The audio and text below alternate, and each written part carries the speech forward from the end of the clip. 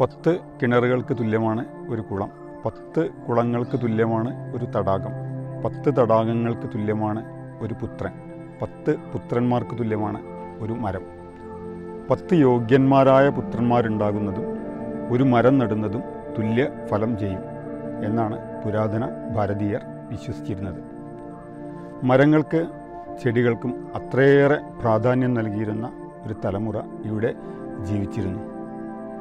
ആ ഒരു അറിവ് നമ്മുടെ കുട്ടികൾക്കും പുതിയ സമൂഹത്തിനും പകർന്നു നൽകാനുള്ള ഒരു ചെറിയ ശ്രമമാണ് ഞങ്ങൾ വിദ്യാലയത്തിലൂടെയും കുട്ടികളിലൂടെയും നടത്തിക്കൊണ്ടിരിക്കുന്നത്. ഞാൻ എന്നെ സ്വയം പരിചയപ്പെടുത്താം. സത്യൻ മാഷ് സത്യകുമാർ തടത്തിൽ പോരൂർ ശിവക്ഷേത്രത്തിന് സമീപമാണ് താമസിക്കുന്നത്. Kappil S V I P സ്കൂളിലെ അധ്യാപകനാണ്. ഇരുപത്തഞ്ച് വർഷമായി കാപ്പിൽ സ്കൂളിൽ കുട്ടികളോടൊപ്പം ഇവിടുത്തെ നാട്ടുകാരോടൊപ്പം പരിസ്ഥിതി സൗഹൃദ പ്രവർത്തനങ്ങൾ ഏറ്റെടുത്ത് നടത്തിവരുന്നു. ആയിരത്തി തൊള്ളായിരത്തി തൊണ്ണൂറ്റി മൂന്ന് November ഇരുപത്തിമൂന്നിനാണ് Kappil S V I P സ്കൂളിൽ ഞാൻ ആദ്യമായിട്ട് എത്തുന്നത്. അന്ന് അവിടെ ഏതാനും ചെറിയ കുറച്ച് മരങ്ങളും രണ്ടോ മൂന്നോ മുളങ്കൂട്ടങ്ങളും മാത്രമാണുള്ളത്. അപ്പോൾ ആദ്യമായിട്ട് തന്നെ ഈ പ്രകൃതിയെ അല്ലെങ്കിൽ ഈ മുളങ്കൂട്ടത്തെ ഉപയോഗപ്പെടുത്തി ക്ലാസ് എടുത്ത ഒരു അധ്യാപകനാണ് ഞാൻ എന്ന് കുട്ടികൾ പറയാറുണ്ട്. മരത്തിന് ചുവട്ടിലേക്ക് കുട്ടികളെ കൊണ്ടുപോയി ക്ലാസ് എടുത്തു. അവർക്കത് വലിയൊരു അനുഭവമായിരുന്നു. കാരണം ക്ലാസ് റൂമിന് പുറത്ത് പ്രകൃതിയിൽ ഇരുന്നൊരു ക്ലാസ് എടുത്തപ്പോൾ അപ്പോൾ അങ്ങനെയാണ് നമുക്കൊരു ആശയം ഉണ്ടായത്. മരങ്ങളും ചെടികളും ക്യാമ്പസിലുണ്ടെങ്കിൽ അത് കുട്ടികൾക്ക് വലിയൊരു അനുഭവമായിരിക്കുന്നു. അത് അവരുടെ ക്ലാസ്സുകളും പഠനത്തിനും അതുപോലെ കളിക്കാനും എല്ലാ പ്രവർത്തനങ്ങൾക്കും വലിയൊരു തണലാവും എന്നും മനസ്സിലാക്കി. അങ്ങനെ ചെറിയ വൃക്ഷത്തൈകൾ നട്ടുകൊണ്ടാണ് ഞങ്ങൾ ആ പ്രവർത്തനം ക്യാമ്പസിൽ ആരംഭിക്കുന്നത്. സ്കൂൾ ക്യാമ്പസ് ഏതാണ്ട് മൂന്നര ഏക്കർ വിസ്തൃതിയുണ്ട്. മരങ്ങളൊന്നുമില്ലാത്ത ഒരു ക്ലീൻ സ്ലൈറ്റ് ആയിട്ടാണ് അന്ന് നമുക്ക് കിട്ടുന്നത്. അതുകൊണ്ട് തന്നെ കൃഷിയുമായി ബന്ധമുള്ളത് കൊണ്ട് തന്നെ ആ സ്ഥലം പരമാവധി എങ്ങനെ ഉപയോഗിക്കാം എന്നുള്ളതിനെക്കുറിച്ചായി പിന്നീട് ചിന്ത. അതുകൊണ്ട് തന്നെ ക്യാമ്പസിൽ വരുന്ന വളരുന്ന പ്രത്യേകതരം മരങ്ങളും മനോഹരമായ മുളങ്കൂട്ടങ്ങളൊക്കെ ശേഖരിച്ചുകൊണ്ട് നമ്മളതിൽ നല്ല ഭംഗിയിൽ ക്രമമായി ചെടികൾ വെക്കാൻ തുടങ്ങി. അങ്ങനെയാണ് ഇതിന്റെ ഒരു തുടക്കം. പിന്നീട് നമ്മൾ മരങ്ങളെ അതൊക്കെ വളർത്താം എന്നുള്ളതിനെക്കുറിച്ചൊരു സ്റ്റഡി നടത്തി. യാത്രകളിലൊക്കെ മരങ്ങളെയും ചെടികളെയും കുറിച്ച് മാത്രം ചിന്തിച്ചു. എവിടെ നമ്മൾ പോകുമ്പോഴും വിദ്യാലയത്തിൽ ഏതെല്ലാം മരങ്ങൾ നട്ടു വളർത്താം എന്നുള്ളതിനെക്കുറിച്ചായിരുന്നു ചിന്ത. അങ്ങനെ ഒരിക്കൽ ഗുജറാത്തിൽ പോകുമ്പോൾ അവിടെ ബറോഡയിൽ നിന്ന് അവിടെ റോഡ് സൈഡിൽ ഒരുപാട് പാല മരങ്ങളുണ്ട്. അത് കേരളത്തിൽ വളരുന്നതല്ല ഇതൊരു പ്രത്യേക മനോഹരമായ വൃക്ഷമാണെന്ന് മനസ്സിലാക്കി അവിടുന്ന് അതിന്റെ തൈ കളക്ട് ചെയ്ത് രണ്ട് മൂന്ന് ദിവസം ട്രെയിനിലൊക്കെ യാത്ര ചെയ്ത് കൊണ്ടുവന്ന മരം വരെ ഇന്ന് ഞങ്ങളുടെ ക്യാമ്പസിൽ മനോഹരമായിട്ട് വളരുന്നുണ്ട്. പിന്നീട് കേരളത്തിലെ അതുപോലെ തമിഴ്നാടിൽ നിന്ന് കർണാടകയിലൊക്കെ സ്ഥലങ്ങളിൽ നിന്ന് നമ്മൾ അപൂർവ ഇനം മുളകൾ ശേഖരിച്ചു. ഇന്ന് ഏതാണ്ട് ഇരുപത്തഞ്ചോളം ഇനം മുളകളുണ്ട്. നാൽപ്പതോളം മുളം കൂട്ടങ്ങളുണ്ട് സ്കൂളിൽ അപൂർവമായ ഔഷധ സസ്യങ്ങളുണ്ട്. ഇതെല്ലാം കേരളത്തിന്റെ പല ജില്ലകളിൽ നിന്നും ശേഖരിച്ച് വളർത്തിക്കൊണ്ടുവരികയാണ്. ക്യാമ്പസിലെ ഒരു മതിലുകൾ പോലും ഇല്ലാത്തൊരു ക്യാമ്പസായിരുന്നു നമ്മുടെ ആദ്യം. അതിൽ വെയിലില്ല ഗേറ്റുകളൊന്നും ഇല്ലാത്തൊരു കാലത്ത് സ്കൂളിനുള്ളിലൂടെ വഴി നടക്കുമ്പോൾ ആ സ്ഥലത്താണ് നമ്മൾ ഈ മരങ്ങളെല്ലാം വെച്ച് പിടിപ്പിച്ചത്. പല ആളുകളും ചോദിക്കാറുണ്ട് ഇത്രയും ഓപ്പണായ ഒരു സ്ഥലത്ത് എങ്ങനെയാണ് ഇത്രയും ചെടികൾ ഒരു കേടും കൂടാതെ വളർത്തിയത് എന്ന്. അപ്പോൾ നമ്മളതിന്റെ പുറകെ അല്ലെങ്കിൽ ഉണ്ടെങ്കിൽ നമ്മോടൊപ്പം നാട്ടുകാരും അധ്യാപകരും വിദ്യാർത്ഥികളും ഹെഡ് മാസ്റ്ററും എല്ലാവരും ഒരുമിച്ച് പ്രവർത്തിച്ചതിന്റെ ഒരു ഫലമാണ് ഇത്രയും ചെടികളവിടെ തഴച്ച് വളരാനുള്ള ഒരു കാരണം. പിന്നെ ഇതിന് ലോക്ക്ഡൗൺ സമയത്തൊക്കെ നമ്മൾ അഞ്ചരയ്ക്ക് ലോക്ക്ഡൗണിന്റെ ഫസ്റ്റ് ടൈമിലൊക്കെ രാവിലെ അഞ്ച് മണിക്ക് വിദ്യാലയത്തിലെത്തി ഏഴ് മണി ഏഴര ആകുമ്പോഴേക്കും നനയെല്ലാം പൂർത്തീകരിച്ച് തിരിച്ചു പോന്നിരുന്നു. അന്ന് എട്ട് മണിയാകുമ്പോഴേക്കും വണ്ടൂർ ലൈൻ വണ്ടൂർ ജംഗ്ഷനിലൊക്കെ പോലീസ് വരും. അപ്പോഴേക്കും നമ്മളെല്ലാം നനയും കഴിഞ്ഞ് തിരിച്ച് വീട്ടിലെത്തിയിരുന്നു അഞ്ച് മണിക്ക് വീട്ടിൽ ഇവിടുന്ന് ചായയൊക്കെ ആയിട്ടാണ് നനയ്ക്കാൻ പോയിരുന്നത് അപ്പോൾ അഞ്ച് മണിക്ക് സ്കൂളിലെത്തും. അന്ന് മാർച്ച് പത്തായിരുന്നു. ഒരുപാട് കാബേജ് കോളിഫ്ലവർ പച്ചക്കറികളൊക്കെ ഫുള്ളായിട്ട് പോളി ഹൗസിൽ നിറഞ്ഞു നിൽക്കുന്നൊരു സമയമായിരുന്നു. അതുകൊണ്ട് അത് നഷ്ടപ്പെടുത്താൻ ഒരിക്കലും പറ്റില്ല. അപ്പോൾ നമ്മൾ അത്രയും എസ് ഐയുടെ അടുത്തൊക്കെ സ്പെഷ്യൽ പെർമിഷൻ വാങ്ങി വളരെ നേരത്തെ പോയി ചെടികളെല്ലാം നനച്ചിരുന്നു. പിന്നെ എല്ലാ ദിവസവും സ്കൂളിൽ പോകുന്നുണ്ട്. ഇന്നലെയും ഇന്നൊക്കെ നമ്മൾ സ്കൂളിൽ പോയി. ഡെയിലി വലിയൊരു അധ്വാനം തന്നെ ഉണ്ട് ഇതിന്റെ പിറകിൽ ഒപ്പം നാട്ടുകാരും രക്ഷിതാക്കളും കുട്ടികളൊക്കെ ഉണ്ട്. പരിസ്ഥിതി രംഗത്ത് ഒരു വിദ്യാലയത്തിന് എന്തെല്ലാം പ്രവർത്തനങ്ങൾ ചെയ്യാൻ കഴിയും അതെല്ലാം ഞങ്ങൾ ഏറ്റെടുത്തിട്ടുണ്ട്. കാവ് മുതൽ നെൽകൃഷി വരെ ഒരു വിദ്യാലയം ഒരു പ്രൈമറി വിദ്യാലയം ഏറ്റെടുത്ത് വൻ വിജയമാക്കുകയുണ്ടായി. കാവ് ബാംബു പാർക്ക് ബട്ടർഫ്ലൈ ഗാർഡൻ മൂന്നിലേറെ താമരക്കുളങ്ങൾ ഔഷധോദ്യാനം ജൈവ പച്ചക്കറി കൃഷി scent garden vertical garden park.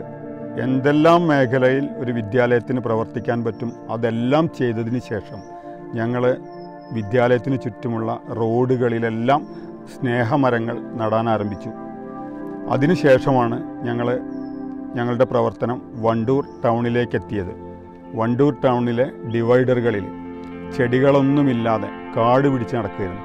രണ്ട് മൂന്ന് പ്രാവശ്യം ചെടികൾ നട്ടു വളർത്തിയിട്ടും വളരാതെ നശിച്ചു പോയപ്പോൾ ആ ഒരു ഉദ്യമം കൂടി ഞങ്ങളുടെ വിദ്യാലയം ഏറ്റെടുക്കുകയുണ്ടായി. ഇവിടെ എന്തുകൊണ്ട് നമുക്ക് ചെടികൾ വെച്ചുകൂടാ? ആദ്യം നമ്മൾ പി ടി എ പ്രസിഡന്റിനോടും വാർഡ് മെമ്പറോടുമാണ് സംസാരിക്കുന്നത്. പിന്നീട് പി ഡബ്ല്യു ഡി എഞ്ചിനീയർക്ക് നമ്മളൊരു റിക്വസ്റ്റ് കൊടുക്കുകയാണ്. അവിടെ ഞങ്ങൾ ചെടികൾ വെക്കാം. ഒരു ചിലവുമില്ലാതെ ആ പ്രവർത്തനം വിദ്യാലയം ഏറ്റെടുക്കാമെന്ന് പറയുകയാണ്. തുടർന്ന് നമ്മൾ ബഹുമാനപ്പെട്ട M L A Shri A P Anilkumar അതുപോലെ വണ്ടൂർ ഗ്രാമപഞ്ചായത്ത് പ്രസിഡന്റ് ഇവർക്കെല്ലാവർക്കും റിക്വസ്റ്റ് കൊടുക്കുകയും പഞ്ചായത്ത് പ്രസിഡന്റ് ഉദ്ഘാടനം ചെയ്തുകൊണ്ടാണ് ആ പ്രവർത്തനം തുടങ്ങുന്നത്.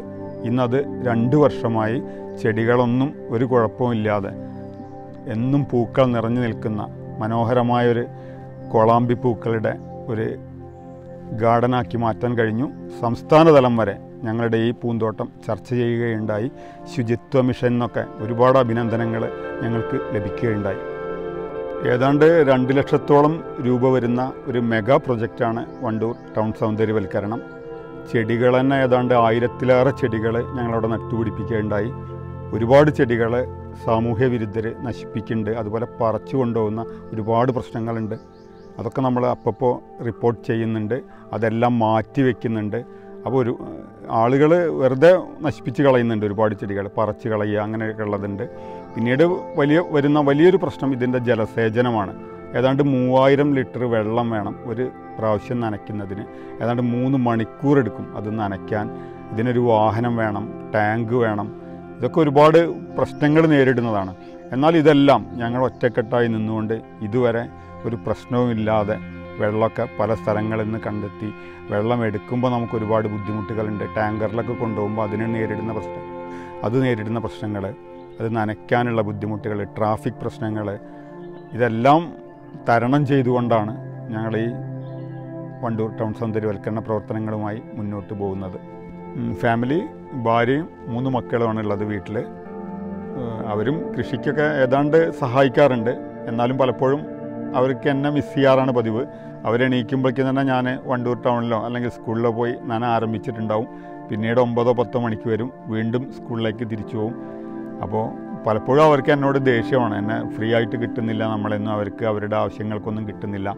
ഫുൾ ടൈം ചെടിയാണ്. അതുപോലെ ചെടി മാഷ് എന്ന് തന്നെയാണ് അറിയപ്പെടുന്നത്.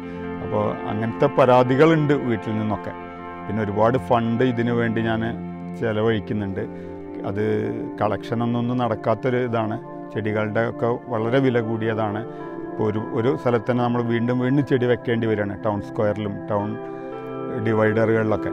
അപ്പോൾ വലിയൊരു എമൗണ്ട് ഇതിനു വേണ്ടി ചിലവഴിക്കുന്നുണ്ട്. നമ്മൾ തൃശ്ശൂരൊക്കെ പോയിട്ട് ബൾക്കായിട്ട് ചെടി കൊണ്ടുവരുമ്പോൾ അതിന്റെ ചിലവുകൾ ടാങ്ക് ഗുഡ്സിൽ നനയ്ക്കാൻ ഇടയ്ക്കിടയ്ക്കുള്ള പണിക്കൂലികൾ വലിയൊരു ബാധ്യത ഉണ്ട്.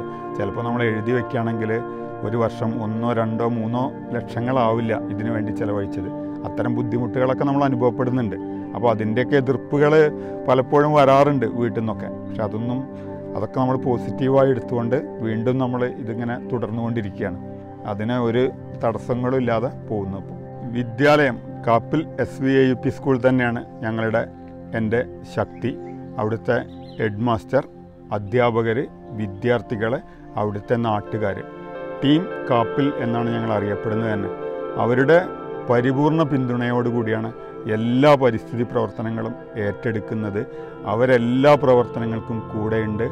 ടൗൺ സൗന്ദര്യവൽക്കരണമാണെങ്കിലും വിദ്യാലയത്തിലെ ഒരു ചെടി ഒരാൾ കേടുവരുത്തുകയാണെങ്കിൽ പോലും അതപ്പോൾ അവിടെ ഓൺ ദി സ്പോട്ട് ഇടപെട്ടത് തടുക്കാൻ അവിടുത്തെ നാട്ടുകാരും വിദ്യാർത്ഥികളും പരിപൂർണമായി ഹാർഡ് വർക്ക് ചെയ്യുന്നുണ്ട്. അതുകൊണ്ടാണ് ഈ ഒരു പ്രൊജക്റ്റ് ഇത്രയും വിജയകരമായത്. നാട്ടുകാരുടെ സപ്പോർട്ട് തന്നെയാണ് ഇതിലെ ഏറ്റവും മികച്ചത്.